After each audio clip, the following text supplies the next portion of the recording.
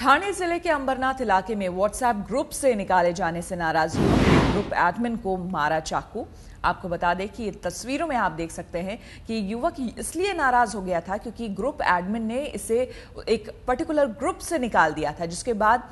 नौबत खून खराबे तक आ गई और ग्रुप एडमिन को इसने चाकू मार दिया, जिसके बाद आपको बता दें इस पूरे मामले में अब तक चार लोगों को गिरफ़्तार कर लिया गया है।